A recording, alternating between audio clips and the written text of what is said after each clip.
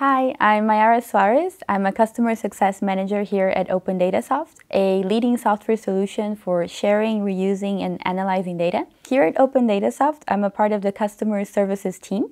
We're a team of 10 people, and our role is to support our clients during the launch of their data platform promoting different usages since our product allows multiple use cases, and also advising them in our data sharing practices. I joined Opendatasoft about four months ago after knowing them for a few years. I have a background in political science and I was working for a consultancy company in digital innovation.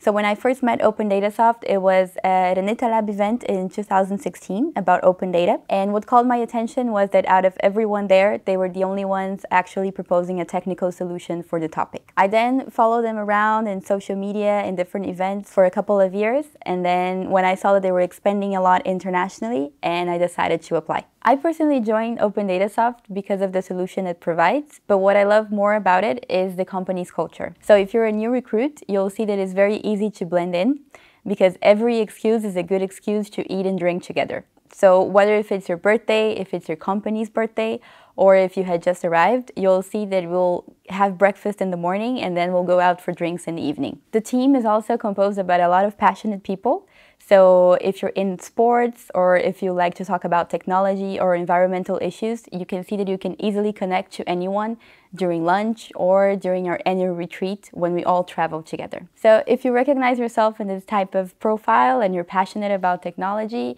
uh, don't hesitate and come join us.